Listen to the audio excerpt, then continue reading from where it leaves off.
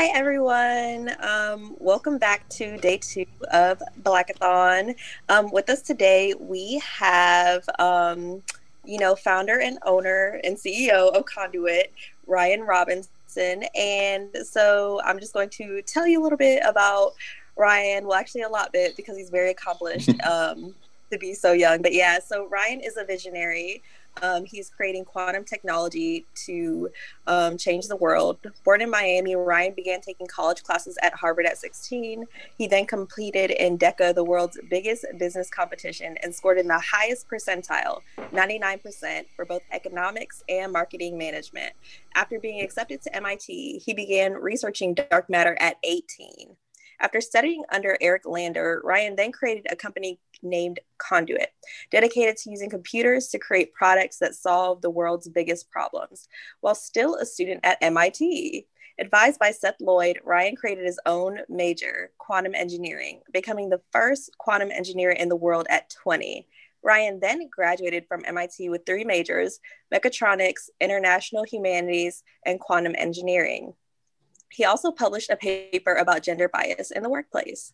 At 22, Ryan was named in Forbes Under 30 for Conduit's work in solving real world problems. Ryan then raised over $1 million for Conduit and lectured at MIT about quantum computing and cryptocurrency.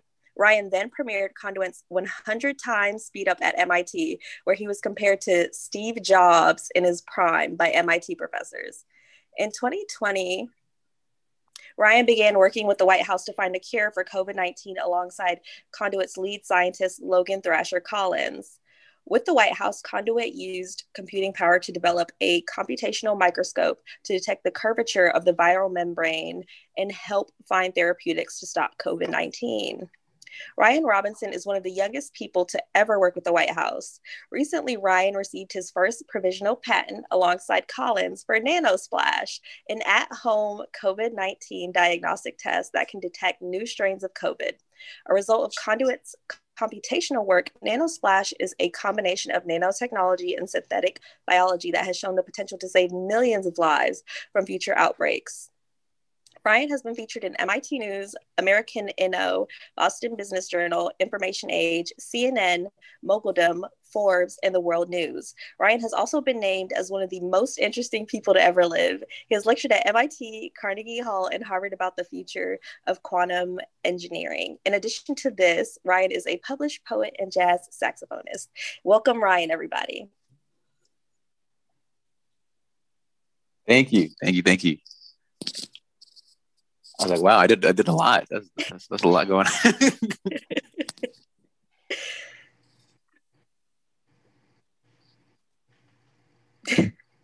Ryan, you want to talk to us about what you're going to talk about today? Yeah, absolutely, absolutely. Um, so everybody, my name is Ryan. Nice to meet you, Ryan Robinson.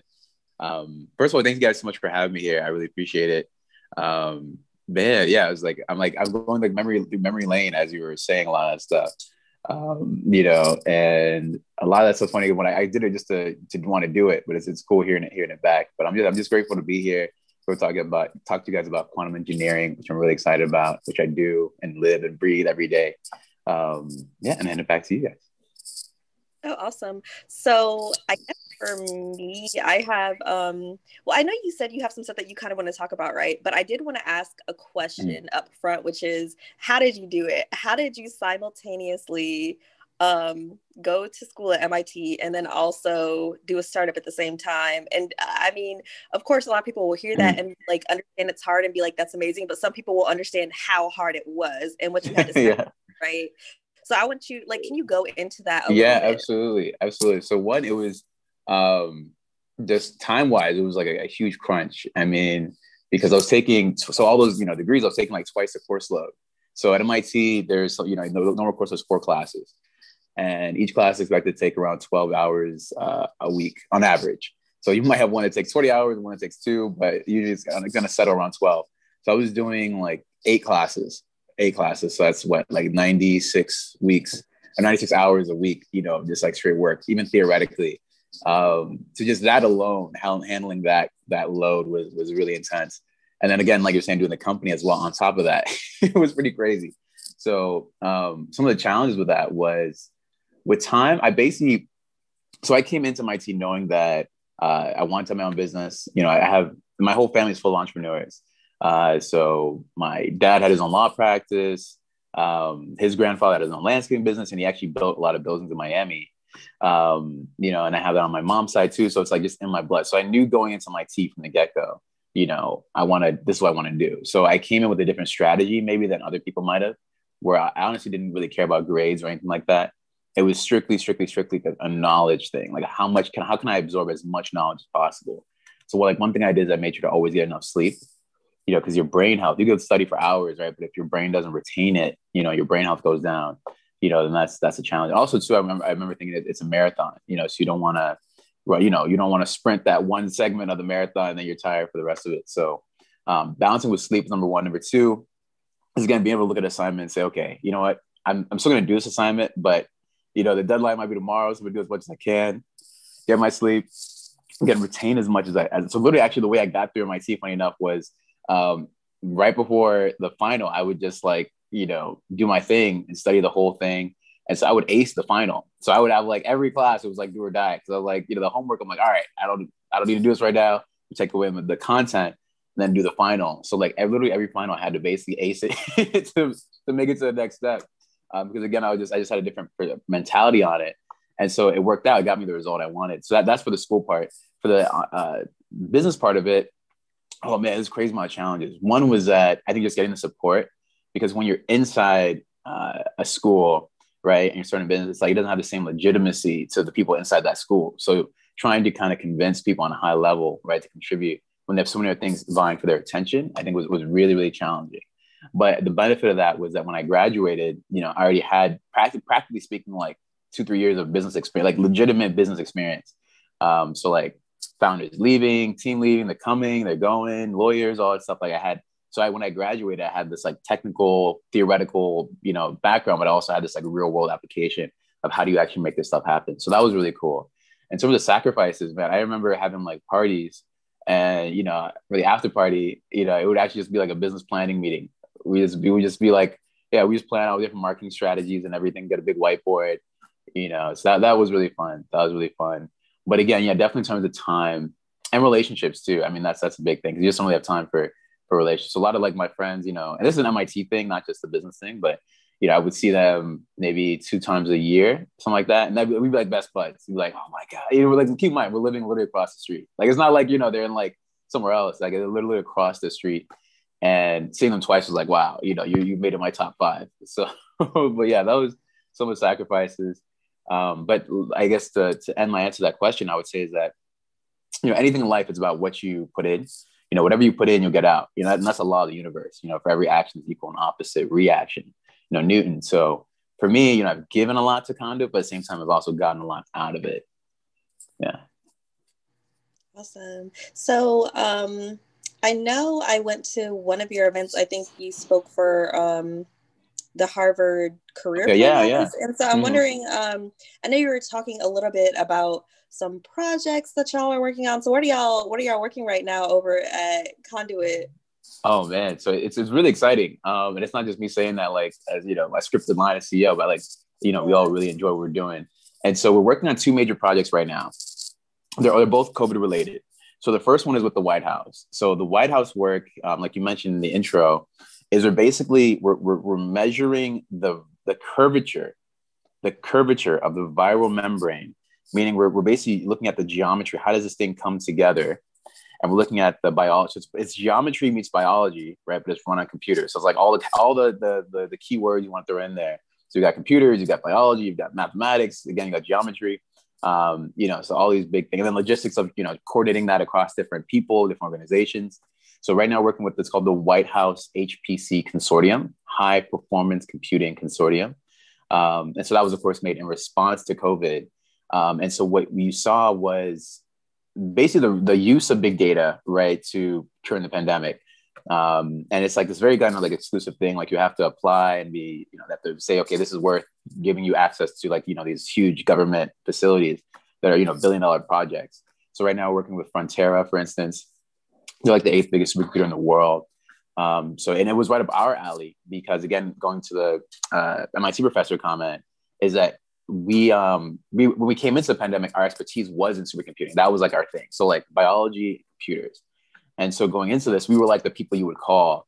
And so it's been a really great experience because one, we were like the youngest people doing it. Um, number one, number two, obviously, it's also really diverse. Just like, I mean, the team we have are people from like Egypt and India and London and you know Michigan and Miami and you know different colors and shapes and sizes. Um, so it's pretty cool. It's, really cool. It's not there's not as many women as I would like, you know, just from that angle of diversity, but in terms of like uh, ethnicity, class, nationality, it, it is really diverse. So it's cool to you know leverage that, and also too to that point that we're, we're doing all this work pro bono too. All that White House work is all pro bono. You know, it's not yeah. So we're like you know staving away or whatever to to do this.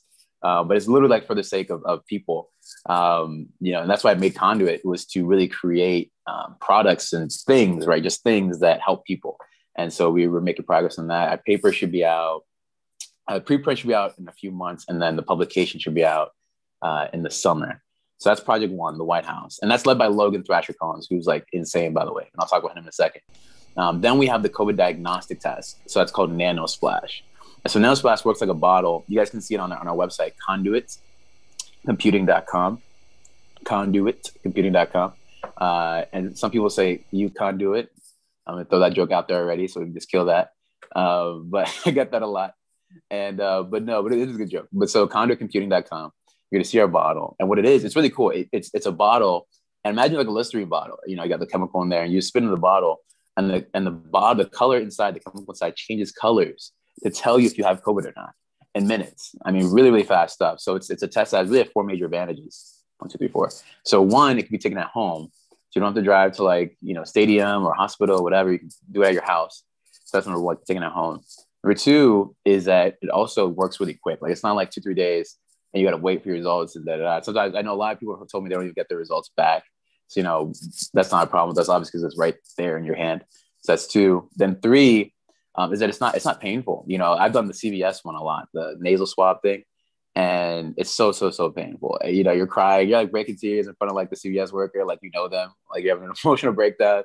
You know, like you're like somebody just broke up with you or something, and you needed a bowl of ice cream. And so it was crazy. And then of course I was doing it, and then this other car drove the wrong way, so I'm making eye contact with this one car as I'm crying, you know, sniffling tears. But um, but it's not painful. Right, Nana. So our test, yeah, our test is our test is painful. Um, and the biggest thing honestly is that it can adapt to new strands of COVID. So that's the problem right now is that uh, that we've been, you know, we talk about internally is that um, you know, there's going to be a, the is not going away. You know, not, it's not going away. So um, for us, there's going to be um, you know, we're, we're looking at the world right now, how the world's going to look after COVID, or even I would say rather after this specific strand or two strands of COVID. And that's been a really interesting discussion uh, inside the company. One of the big things is that again is that it's not really going to go away because I mean it, it, it, was here before, you know. And I mean this goes in the whole like COVID talk, but it was here before, you know. So it's not going to just just go away. Um, I think people don't really understand how fast this thing mutates. I mean, it's like so in three days, you have one virus. This is not like even the COVID virus. This is a generic virus. This is any virus, particularly an RNA virus if you know say mosquito bites you and that has and has malaria that malaria virus will mutate in three days to more viruses in your body than all the stars in the milky way galaxy. Like insane. I mean you're talking about like counting up all the grains of sand type like quantity. And you can see that's why for us you know as data scientists we kind of understood that, that mathematics right that exponential slope. And said okay we got to you know do something here. So the adaptability was the first thing that we looked at. Um, now, for us as a company, of course, our first vision wasn't like, okay, let's wait for this pandemic. You know, like guys, don't worry, just sit down a few years. You know, that wasn't our plan. It was really to create quantum technology that helps people. Number one, create quantum technology that helps people. So even the reason we had done the computing work in the first place was to simulate the quantum computing. So as any of you who study quantum computing know or heard of it, is that basically it's not there yet. It's very, very, very primitive. Um, even though you guys might see like some of the articles like, oh, it's here, it's, it's quantum supremacy that's like I'm gonna tell you guys that's a bullface lie. it's a lot. That's a lot of media like marketing and stuff like that. Um, and so it's it's a lot. What happens basically is people who are like they're trying to get hype, and I, I get it. It's you know they're trying to get hype for their products or their whatever, and they're telling the journalists to you know to this is what it is, or the journalist taking it obviously a step further, but it, it's not. It's nowhere near. Um, and same thing with AI. A lot of these technologies they're nowhere near what we would think they are if you actually are in those spaces. Um, we were in crypto, we left that. You know, we were actually in, in the, we were deep in the quantum space, like using quantum computers. This was back in 2018 before the, um, the White House work. And we were in it. Um, again, that's my major, my specialty, my whole claim to fame. And even I was like, all right, you know, um, I didn't let that distract me. So this is a little too early. So how do we build our way to that quantum future? So the collective computing, the network part of it, the computer part of it, came into play was saying, okay, we can simulate this quantum computing faster or better than it's being actually run and performed today. So in other words, with our collective computer versus your, you know, quote unquote run of the mill quantum computer, we can basically, do more quantum computing than you can. You know, that was that's what we why we made it. And then from there, we use that to design physical, um, in-person uh, hardware products, physical products. So that's where you're seeing NanoSplash come out because it uses nanotechnology so nano and quantum, you know, they go hand in hand. And so as you'll see in the future, we'll be making more and more um, quantum products where it's like basically it's gonna get more and more sci-fi. That's like a simple version of it. It's gonna get more and more sci-fi looking. It's gonna get really cool. And so this is just the beginning. Uh, we're gonna see a, a larger line of quantum computing or quantum engineering products. Now that's really interesting, Ryan. One thing that you just said that intrigued me was that nano and quantum kind of go hand in hand. Can you explain a little yeah. bit more about that? Like, yeah, absolutely, absolutely. I'd love to. Um, and so basically, I'm, I'm going to pretend like you know people out here have not really heard of it. So if everyone's already heard of it, I'm not trying to insult your intelligence. So with nano, right? So nano is a prefix, and it, it refers to um, an abbreviation, right, for a, a certain a size, a scale. Um, so for instance, if you say like a tenth, right, I want a tenth of a pizza or a tenth of an ounce or a tenth of an ounce of, you know, um, ingredient for my cooking, then that's that's a, referring to a scale, you know, a measurement, right? So a tenth, obviously one tenth, we know that, right? One hundredth, obviously we know that. So tenths and to so nano is ten to the negative nine. So in other words, really, really, really small compared to whatever it is you're, you're referring to. So if I said nanometer, right, 10 to negative nine meters, so if you had a meter and you cut it up basically into what is that, like a, a billion units, a billion units. Um, and so that's the sense of the size. And so where the quantum comes in there, and so quantum deals with physics that's very, very small. So as you become, as you start dealing with things that are smaller and smaller and smaller and smaller, then you start dealing into a different realm of physics called quantum physics. Quantum physics. And so speak to that to a larger point, that's really the conversation, that same conversation is where quantum computing came out of. So what happened is that, you know, they were making computers and they made them smaller and smaller and smaller and smaller. Some of you might know this as Moore's Law. So it's by Gordon Moore. So he was the chairman of Intel. And he basically sort of prophesizes that computers will double in computing power every couple years. He said exactly every 18 months, every 18 months, because we're, again, we're, we're having the size of our chips. But again, you can do that only for so long, right? Until you get to a point where there's a different type of physics. There's a different type of physics, quantum physics. So the rules are different. The rules are different. So now you've got to engineer it and using those rules as opposed to using the, the other rules before. Um, and so quantum affects nano, where again, if you're making something that's really small, as you have to then look at it not from a classical lens, but from a quantum lens. And that obviously means a whole range of things. But one of those things that it references is, is, is the consequence of that statement is position. So, you know, I'm physically, you know, obviously I'm right here, you're right there, everyone's, you know, sitting in their chair or whatever, you're, you're in a position. But with quantum is that the position isn't so clear. You can't really say like a something, a particle is here or here or here or here. In quantum, it's more like it's in this general region. And I can talk about that more in a second, but it's in this general region. So in other words, when you're building things that are small, that's one thing you have to consider is positioning you're now going to a, a situation where there's something that's like right here in front of you, something you could touch and feel, is now more in a general region where you can't really pinpoint it. You have to kind of describe what area it might be in. Um, so this is one of the consequences, and that speaks again what quantum engineering is. People ask me, of course, what that is. Quantum engineering is really looking at the world through a quantum lens. You know, looking at a world saying, okay, how does quantum play into this? Or how does the philosophies or tenets of uh, quantum physics how are they relevant to what we're doing? Uh, I'll give an example of that now. So with one thing with quantum, so I mentioned position, right? I said it was in a region. So then two, another thing about quantum is it's probabilistic. Probabilistic, meaning that, you know, in the real world, you know, we say we flip a coin, you know, it's 50-50 chance of it being heads or tails. In quantum, it's a little different than that. So there's a there's a percentage point that it might actually phase through the floor. There's always different percentages. where the, the results that you think are expected to happen won't necessarily happen. It won't necessarily happen. So in quantum, if you like hit your head against the wall, you know, a million after a million times, at some point your head's gonna face to the wall. At some point your head's gonna face to the wall. So that's so that's one of the, the rules of quantum is that like what we take for granted as fact isn't really fact, it's probabilistic. It's probabilistic. So what does that lend itself towards? So in finance, right? where it's difficult to predict with certainty the future how a stock is going to perform up down left right you know should i short it what have you is that quantum can come in and say okay well this is a probabilistic problem. I'm basically i'm good at probability. So i can tackle this probability problem you know in a way that's that, that's really easy for me because i speak that language.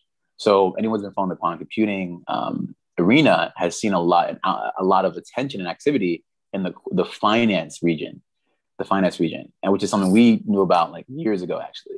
Um, but we decided to go to biology, drug discovery uh, phase because of we basically want to create more of an impact than that. But quantum finance is something we saw like years ago. And again, it's because of that probabilistic nature to it, which quantum speaks quantum. Quantum speaks probability, so that made a lot of sense. So, so yeah, that's that's that's that's all in that answer. That's awesome. That's awesome. So, like, how do you see quantum computing in the future in terms of like how the common person will interact with it?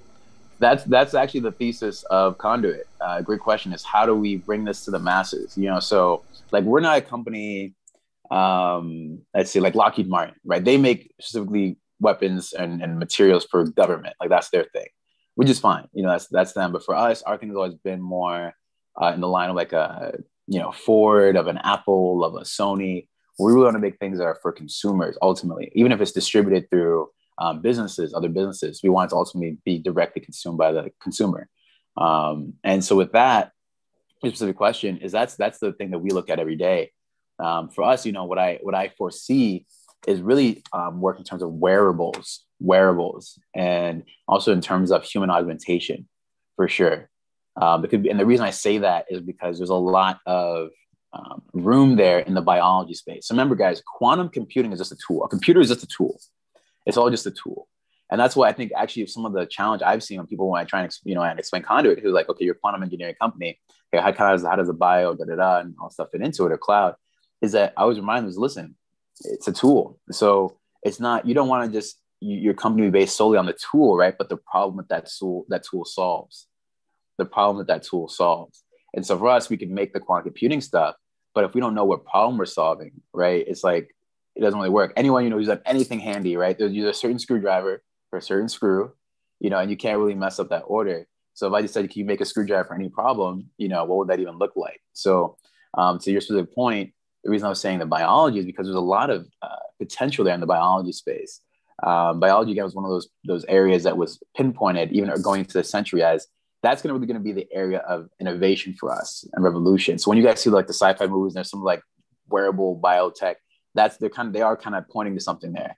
Um, all the scientists and all the stuff they're, they're they're saying this, you know, in their conversations is that biology is really going to be the what's going to take over this century. So things like uh, CRISPR with gene editing. Um, you know, we all saw that was like the, the, I think Dolly the sheep was her name. Dolly the sheep they, they cloned in like late 90s or 2000s. So that's that's that's been that's been accelerating, and it's going to only going to accelerate further. Um, and so actually, thereby these these it's actually really interesting for our time period because of the ethics around that, right? Because we're going to be first time in ever where the questions of you know lifespan you know should humans die? Should they not die? If we have the ability to make them live for 100 years longer can we should we do that? Can we do that? You know who gets access to that? You're kind of seeing some of those questions now in terms of access right with the vaccine. You know who's who's the, who's who has first priority? You know how do those things occur? Um, so so it's, this time period i mean is really interesting but then when get used to the question in the wearables um, is a big one. And then two i think what, our, what we want to do with it um, i expect i can speak to that a lot more is to do a, a like a wearable bio augmented type approach. Um, and I think that, that lends up to our natural expertise, expertise again with the White House, with the nanosplash, um, and because also we see a great future for nanotechnology, period, um, which is really really exciting. You know, there's things like, for instance, there's uh, this this robot, this idea that's kind of in the nanotech space. Um, so if you see this idea, someone took it from like a book or something. But it's this idea, this idea of these robots that like can go inside your body and use your glucose as energy. So you could eat like a you know donut, and that won't it won't mess up your insulin because the robots are using that sugar right to fuel some sort of you know repair operation in your body. You know, so that's that's part of the zeitgeist. So we want to take the company in that direction. And again, all that stuff's so small that quantum comes into play. But again, quantum is just a tool to really solve these human needs. So last thing I'll say to that to that question is, you know, right now I'm actually writing a quantum engineering book. Um, and you know, the first thing I'm doing with the book is explaining, you know, what is what is the unique role of quantum engineering? What is the unique role of quantum computing? Because that's really the basic question to answer, right? To answer your question. You know, but before we say how to bring it to the masses, okay, well, what can it what can we bring to the masses? Like what, you know, what unique value add does this have that we want to bring out to the market? You know, and so those are really the questions you have to ask yourself. And what's interesting though, if you really think about it, is like a lot of the, the problems we face now um, you know, we don't really need a quantum computer for it. You know, to be totally honest with you guys, you know, for like world hunger, you know, we don't we don't need a quantum computer to solve world hunger. That's not like that's not like someone saying like if only we had a quantum computer, world hunger would be over. Like that, there's no one doing that. You know, if only we had a quantum computer, there'd be no more war. No one's doing that. You know, if only we had a quantum computer, there'd be better healthcare. No, no, no one's doing that. You know, and that's not a lot of our problems now, guys. I mean, as we all have seen, is that are really human problems. I mean, they're really, really we were we passed the phase you know, with the industrial revolution and the farmers revolution, where we're like, you know, we have to fight each other for food or land or survival. Like we don't know, we really don't need to fight anymore as a species or have these problems, but right, but we kind of choose to keep these things going. Um, so quantum computing really at its best is going to be something that helps us get to a better version of ourselves. That helps us get to a better version of ourselves, you know, whatever that may be. But I think that that's how it can. Now, keep in mind, it will definitely be used for something more capitalistic, something more probably some related to cats, you know, some sort of Pinterest. There's gonna be some sort of Pinterest version of this somewhere. Like that's cool. That's cool. They have that. They have their lane too.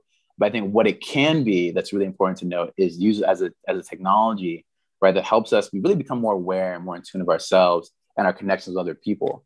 And that's really really important. Um, so that's what, what we what we look at day to day is what are the human problems, right? And why aren't those problems being solved? Again, like world hunger, war, stuff like that. Say, okay, where does quantum fit into that? And then in the day to day, you know, what are the basic issues that we all face that we can uh, make a dent in, a unique dent that only Conduit can do. So yeah.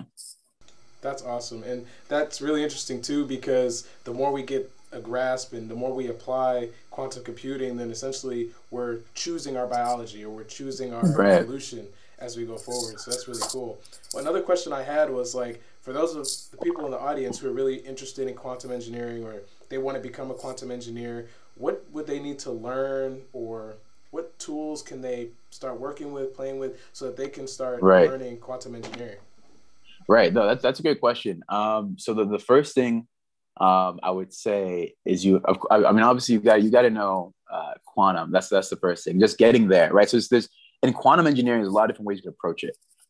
So usually, the way someone approaches, they kind of have one really strong point, really strong angle, right? And then the rest are supplementary skill sets. So in other words, what I'm saying is that someone might be a mathematician, right? That might be, I'm a math person, but I'm approaching the quantum space. So I know a little bit of quantum. I know a little bit about computer science, right? But math's like really my, my thing.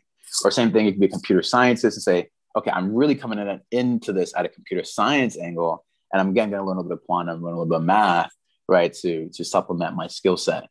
Uh, specifically for, for quantum engineering, right? Is you're going to want to have exposure really to a lot of a wide uh, breadth of things, a lot a lot of uh, different options, opportunities. But at the same time, um, you're gonna want to have a certain a T, what's called a T uh, skill set. And anyone's read uh, what is it called? Um, Zero to One by Peter Thiel. He knows what I'm talking about. He, so he may mentions this in the book. Is that you want to have that one key skill set that you have, and then like an exposure to a lot of uh, breadth. So specifically, um, of course, mathematics. I'd say that's the core. If you had to pick a core skill set to have, it's got to be mathematics because that's the universal language. You know, that's the universal language of the, of the universe of God. You know, on Einstein, where he said God doesn't, God speaks in the language of mathematics. You know, so um, mathematics is key. Uh, mathematics is my favorite subject. And then two, then going, I would actually say um, philosophy. If I if I had to pick one more to be really be your core, because when you're talking about quantum, there's a lot of unexplored questions. Um, number one, number two, actually, what you were just talking about, this controlling the biology you know, there, there's a lot of deep questions there too that I think it, it's important to have a philosophical mindset when you're approaching because you're talking about the future.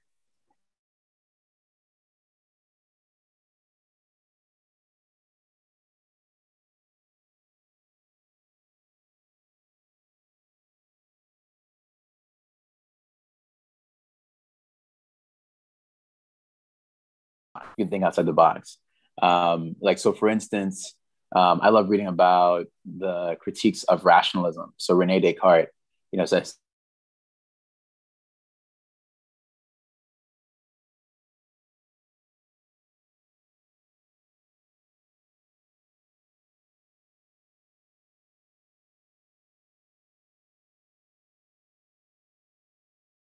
every part of your body, including your brain, is an organ. You know, so in other words, your thoughts are really it's a sensory organ. Same with your tongue, right? So you taste it sour in your tongue. You never say I'm sour. You know, you would say that I'm tasting something, I'm experiencing something that is sour. But we don't look at our thoughts that way because of our philosophy. So when you explore yourself to different philosophies, say, okay, you know, my thoughts can be just a result of what's around me. And you can see this easily. You know, if you if you stand up, you know, if you get up and stand up, stand up outside, there's you know, got the sun on you, you're gonna think different thoughts. You know, and if you have your phone on versus you don't have different thoughts, you know, so your thoughts are very much so related and reflected by your environment. And so again, to that point, to your main point of the question about what should you study, philosophy and mathematics have to be key because again, you're gonna be able to undo a lot of that thinking um, in terms of how to look at the world and also how to build inside that world. You know, there's two there's two big things to do, right? How to look at the world, very very challenging, and how to build in the world because you want to build a way that adds value. So if you don't have a good grasp of the world in some level, at least your own world, the world you're operating in, then you're just going to end up repeating and recreating your own ignorance rather than creating something that's novel and unique. So I'd say philosophy, mathematics, and then um, after that, I would say really it's computer science. Computer science is key because when you're talking about uh, you know quantum computers specifically, right? It, the it's it's a it's basically it's, it's a niche field of computer science, right? So it's like it's like making like like a devil's chocolate cake. Like you gotta know how to make cake first, right? Then you gotta know how to make chocolate cake second, right? Then you gotta know how to make the the devil's chocolate cake. So you want to build that foundation. Um, and again, I think there's a lot of philosophical uh, implications there when you study computer science. Like for instance, my professor Seth Lloyd wrote a book called Programming the Universe about how the universe can be seen as a quantum computer computing itself, computing itself. You know, so and that would explain both the um, a lot of the combinations we're seeing, the probabilities we're seeing, but also the uniqueness, the inexplicable part of our nature. You know, in terms of our society, and so I'd say studying those three things: um, philosophy, mathematics, computer science would be a really strong foundation. Um, in terms of specific tools, I'd recommend there's there's something called it's called qskit Qiskit. Uh, people don't really pronounce it, but it's called Qiskit. That's a good uh, computer software. Helps you simulate uh, quantum quantum algorithms really well. Um, what else? And then two, in terms of, I would say books actually. Books that would be good to, to read. Would say I would say actually that book Programming the Universe number one. I would say also you want to read the OGs. You know, you want to read like the direct direct notes of the people who wrote this stuff. So um, like Schrodinger, read about read anything by by Schrodinger. Um, and then also one of the other books I recommend would be Doors of Perception. Doors of Perception, which is a famous book. Um, I might be saying his last name wrong, but Thomas Adley.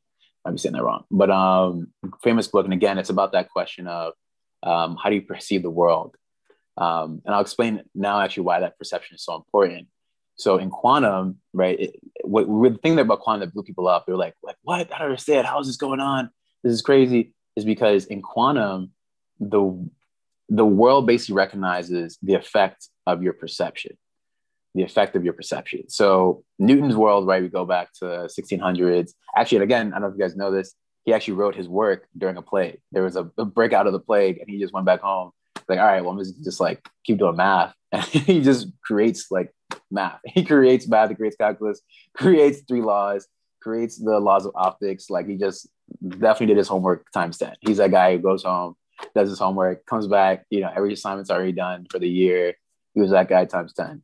But um with Newton, right, you have a, you have an apple, again, you drop it. That's what I was saying before. With an apple, you drop it, you know you know it's gonna fall. Like you for a fact it's gonna fall. Period. But quantum is not necessarily that way. So before I said probability, right? So you okay, it might fall, it might it might fall to the ground, right? Or might face through the ground. You know, that that's a probability. But there's also the probability of just is of perception.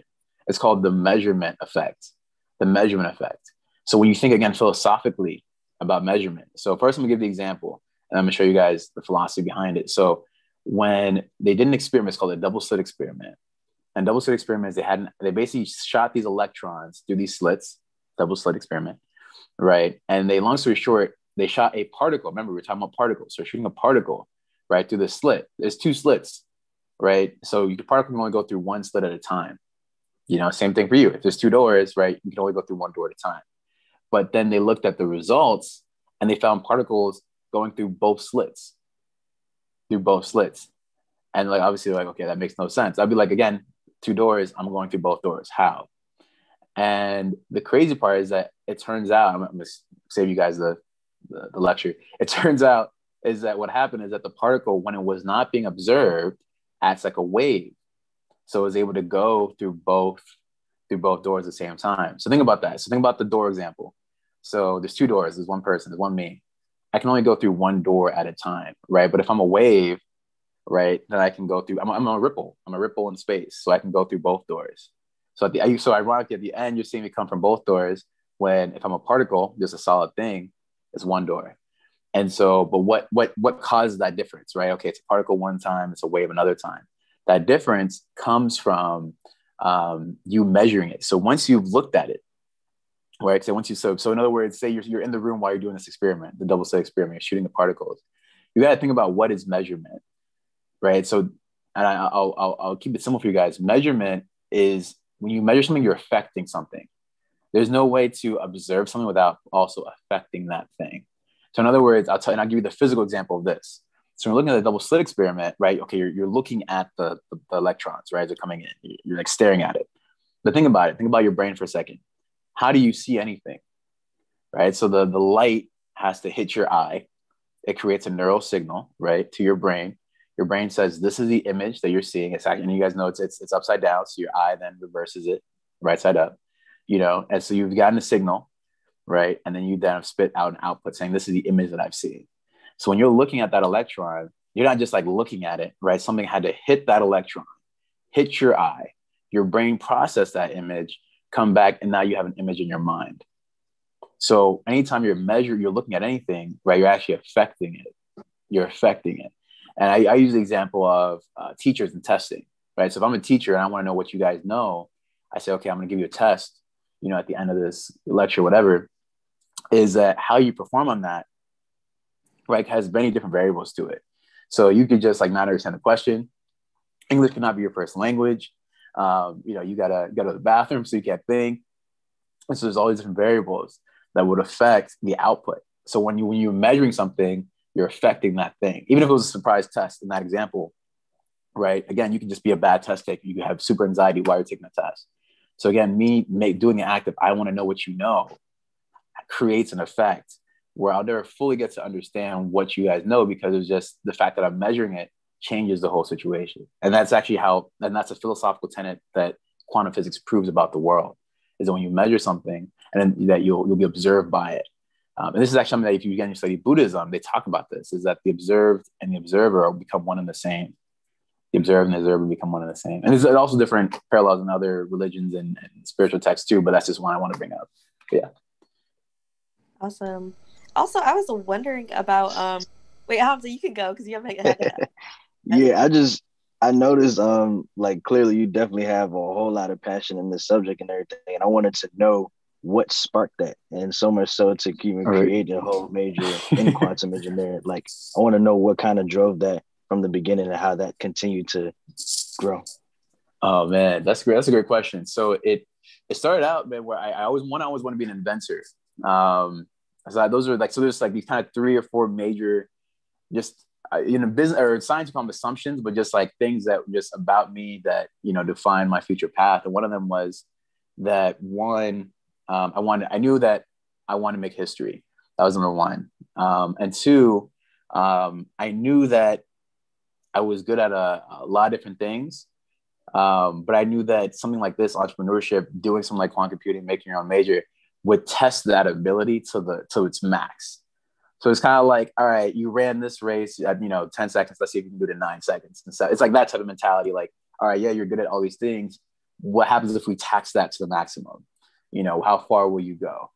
Um, so now, and so, so I'll speak to that point in a second. And then the third point was really just, you know, seeing the, the world and just wanting to be a better place. Those are the, the three big things. So it was like the the humanitarian desire for impact, the more um, like self-focused drive of wanting to make history, and then three, just also just from a perspective of, um, I really just I think just seeing the opportunity that was available with quantum engineering. So I'm talking about the invention aspect. So I'll talk about the invention aspect first. So the invention aspect, you know, when I was again when I was a kid, I was writing out different inventions and all this stuff, and um, always wanted to make my own tech company. Always, always wanted to do that. And so going into that is I knew that's why I went to MIT. So I said, okay, I know how to, you know, I know I know business. You know, I and at this point I'd done poetry and stuff like that. I've been on a football team, I was with all these different clubs and stuff. I said, but I really want to have the utmost technical expertise so that I can perform again at a very, very high level. So like I have the business expertise. How do I get the technical expertise to again perform at a high level so that you know when I'm leading my, my team, my company, right, I can understand the scientist and the engineer and the lawyer and the accountant and the salesperson. I can be that nexus, you know, where everyone can communicate. And I actually funny enough, that's actually what ended up happening is that now, you know, again, I can talk to the business person and, and they get what get what they're saying and vice versa. I mean, I'm talking to you guys now. So I basically trained myself to, you know, to be in this position I'm in right now. Um, so like what you're seeing now is literally like a c- conscious, contrived, intentional plan from like when I was like 12 years old. You know, uh, very conscious every every day, day in, day out, day in, day out, day in, day out. Um, so it's been cool to again see that that plan come to to fruition. But um, so that, that was the inventing aspect. And then again, I, I'd seen in that invention aspect, I'd seen so many things, man, that I wanted to like invent, but and I just wasn't in a position to do. Like I, I remember being in chemistry class and thinking of different principles, you know, like the equilibrium principle that equations have to balance out to equilibrium. You know, I flipped the page and someone's already discovered that, you know, so I kept basically doing things and people would already do them, you know, so I was like, ah, so, okay, what can I do, right? That's new, that's really new. And I can sink my teeth into with all my ability. So quantum, talking about the last question, actually, what you know, what do you need to learn? The reason I love quantum is because you have to learn everything at the same time. So you gotta learn again, like I say, philosophy, mathematics, computer science, um, you know, and you have to again now biology, machine learning, um, you know, government funding for the White House stuff. Like you know, you gotta learn everything from again. That's what I was saying, the, the knowing it and then the doing it, making it happen aspect. You got the scientific, theoretical stuff on the board, and then you've got the real world, you know, day to day execution of that, which are two very different things. Um, and they both again demand a lot, especially if you're doing both, because you have to again you have to it demands the best of every one of your skills, every single one of your skill sets. Um, you know, and so I think that's so that's the that, and unfortunately my team appreciates that because they can just do what they're doing, you know, not worry about all the other aspects. So that was the invention aspect, doing something new, sinking my teeth into something.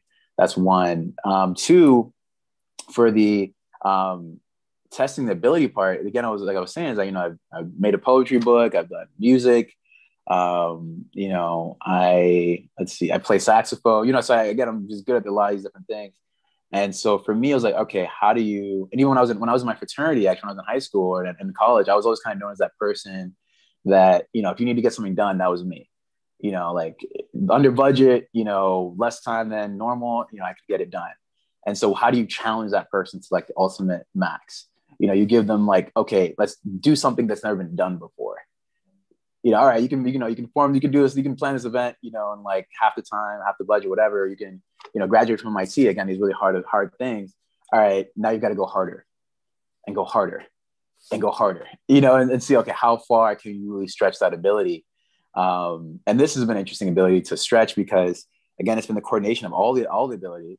Uh, but also for us is it's taken a lot of with, with good things, right? It takes a long time to build them up. Like you could be the most diligent, like person. We can same say for working out, right? Nutrition on point, eating salads every day, but it's going to take some time for you to see results.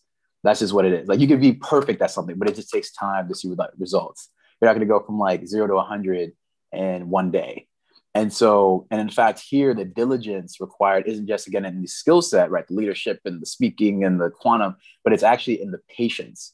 The patience is probably one of the biggest skill sets. So, like, how being basically being able to take the punches, right, and keep going and keep going and keep going. So even if I was like me, all the traits of me, but I didn't have the patience or just honestly the pain tolerance, right, then I wouldn't be able to do what I'm doing. You know, I wouldn't be able to do what I'm doing. Um, and so it, it tests that to its max. And then, but in doing so, it pushes you further, right? It pushes you further than you've ever gone.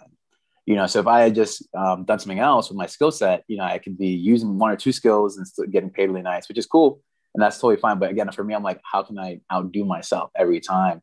Because for me, my like idols or what have you, um, the people that I look up to are like, you know, the people who are like so great. You know, you guys got to remember too. It's one thing to be great in your in like that day, that year, ten years, and in your in your lifetime. It's nothing to be great for like generations, for generations. Like that's different. Like you got to remember like a lot of the mathematicians, like Archimedes, Plato, all that stuff, like the old OGs, I like to call them, they outlasted their whole civilization. The whole can you imagine? Can you imagine? You're like you're, you're, you're this this guy just walking around. You're at trial. These people hate your guts, right? They and they're like you're gonna send you to death, and you got and little do they know that you're the only memory that they're gonna have of those people ever. That's insane for your whole civilization. So your civilization's been around for imagine like in your your own life, right? America's been around 300 years thousand years from now, they don't even mention much America, but they mention your name. You know, that's that's really crazy. And so I'm not to say that from like an egotistical perspective of like, oh, you know, me, me, me, but more so, can you like can you challenge yourself to the point where you can take you can extract that greatness from yourself? You know, any all of us are capable of greatness, you know, in our own right. But I think it's about again extracting that and pushing yourself out of your comfort zone, right? So much so that you get that, you get those diamonds you get those diamonds. And so that's why I do a conduit. You know, we have a team of people that are constantly focused on extracting that last bit of greatness and then directing that into a specific direction. And that's how we've gotten the progress we've gotten so far. Where again, we've made history a bunch of times, been compared to Steve Jobs a bunch of times. We've, you know, gotten a patent for this and that. We're working with the White House, da da da. Uh, is again just like that push, and so that that historical standard being so great again of lasting for whatever generations is more about you know can you achieve that level of basic personal development right on your own? Now keep in mind that doesn't have to be anyone else's standard. That's just my standard because that's just what i enjoy you know it's just what i enjoy. So so yeah.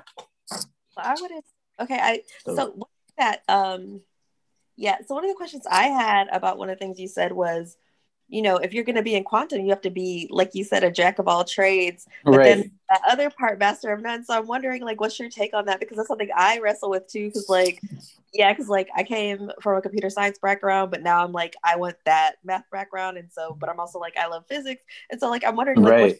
on that and like learning all those things. And like you said, you have to get theoretical, but then as an engineer, especially a real world engineer, yeah. you have to put that into practice, right? So, yeah, what's your take on that? Oh man, and what I, I, can totally relate to that too, because not only so engineer, right, you have to put it into practice, but then entre, en- engineer, entrepreneur, right, you've got to like execute it, get the funding for it, You've got to can pitch people, you got to make the pitch deck and the one pager and the website and the yeah. So I, I definitely feel that. Actually, part of the nanosplash conversation we had internally was like we we could have done some really far out stuff, talking about like talking about nano robots and the glucose but we said, okay, what can we do and like more immediately, right, in the short term time period, like you know, one year, two years type thing. So there's projects like you know these guys probably want to see for a few years that are like insane that we that we could genuinely implement. But it's like, okay, what can we do within a short time space? So I can so I understand what you're saying.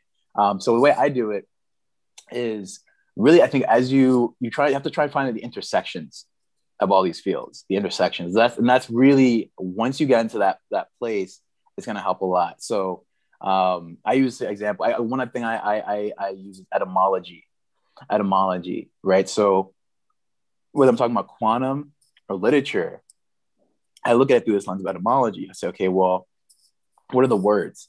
You know, what is what do words mean? You know, and and when you now talk about words, you know, we start studying computer science, it's you start talking about communicating information, right? So in other words, what you want to do is you want to craft this structure in your brain. Okay, well, yes, quantum seems different from literature, seems different from computer science, but what are the fundamentals I can draw from that and take from with me everywhere? Um, so when I get one lens, uh, I don't mention one more too, but one lens is again is etymology. It's, it's, it's, it's basically how do you communicate, communication theory. So you want to look at everything. This is this will be really helpful. Look at everything as communication and expression. So if we look at an amazing pianist, right, is that what really what they're doing? They're amazing, but they're amazing because they can communicate themselves. They can express themselves you know same thing with the bodybuilder you know they oh this amazing bodies because they've, they've expressed their willpower right onto their body. So you want to always look at it look at everything through communication. So when i'm talking about quantum and i'm saying okay i want to make this physical product right quantum, i'm going to make personal quantum computers and wearables and technology da, da. what i'm saying to myself is in my mind is okay what am i really want to communicate? What i want to communicate. So when i create a nanosplash when i'm creating nanosplash what i'm saying is okay and that's why i'm saying philosophy is so important because the way you create is a reflection of the creator. Creation is a reflection of the creator. And same thing, I was, and I see that's the same kind of paradox of thinking for the observation observation effect. The observed becomes the observer, the observer becomes the observed. So there's like these paradoxes. So that is how the world works. So then go back to the lens of communication is so I'm making this physical product. Okay, what have I communicated? What have what what have I what what values have I embedded into this physical product? So with NanoSplash, based on the things I was telling you, is that I, we value simplicity, right? It's just a bottle, you spit into it, boom. So the fact I made that shows that I believe that simplicity is one important, and two, people want simplicity. People uh, want simplicity, and I believe simplicity is important. So you want to say, what are you communicating? Um, and if you take that lens of communication to your different fields, it'll it'll help screen out the fundamentals. And so then to that point, I'll take that one step deeper. So we talked about communication and expression. Two, symbols. Symbols are very, very important. I think symbols is one of those lenses again that will, if you look at it from everything from a lens of symbol, symbols, symbolism, it'll help you in all your different fields. So I'll use it, I'll use that, that lens for what I do, the entrepreneurship engineer thing. So with symbols, right, I'm saying, okay, for the brand, what does our brand as a symbol, what does it represent? you know, again, what am I communicating, right? What, what is it? What does a symbol communicate to my audience? Number one. Number two, then for in terms of symbols, then I'm looking at the structure of the bottle. What again? What am I communicating? And then I'm thinking, okay, how, is that same way you communicate to, you know, you're going to communicate to your mom differently than your dad, differently your friends. Okay, is, has my communication tailored appropriately to my audience? Is it tailored appropriately to my audience? So that's why I see communication so useful. Then you're talking about, okay, now that's the humanities, da da da. Now let's go back to the technical side we're talking about the White House, we're at communication. You know, so we then we simulate the genes on the supercomputer. So I say, okay, how accurately does the DNA symbolize the structure of the virus? In other words, if I use this DNA to construct this virus, how accurately am I going to be able to simulate this virus? Is it going to be 99% accurate? Is it going to be 100% accurate? You know, how closely in line is that expression, right, going to be to the intention? the expression to the intention. So I'm saying, okay, what I'm creating on this computer as a symbol. And so I'm interacting with the symbol as a way to interact with the real thing. So looking at things so lens of communication, one, uh, two, symbolism. And I think I would guess three would be expression will help you a lot in those different fields. So then again, with the scientists, think about what they're trying to express and it'll help you a lot.